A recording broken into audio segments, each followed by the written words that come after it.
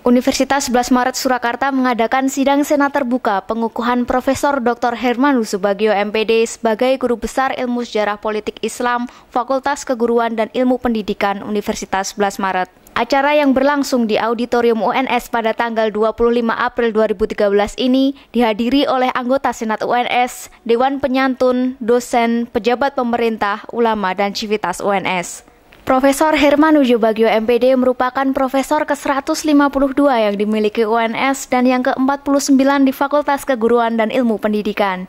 Profesor yang merupakan salah satu dosen pendidikan sejarah FKIP UNS dalam sidang senat terbuka menyampaikan pidato pengukuhan yang berjudul Politik Islam dalam Pusaran Sejarah Surakarta.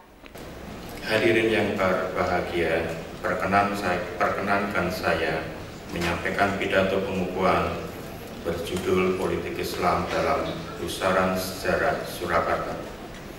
Judul ini dipilih karena pertama pergumulan politik di kerajaan tradisional, baik di kerajaan Demak hingga Mataram, selalu mengikut sertakan Islam dalam pusaran konflik.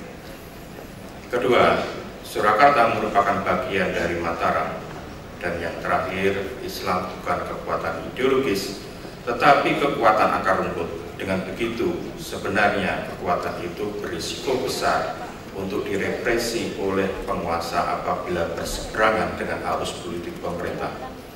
Anwar Effendi, Billy Budiarjo, Smart TV mewartakan.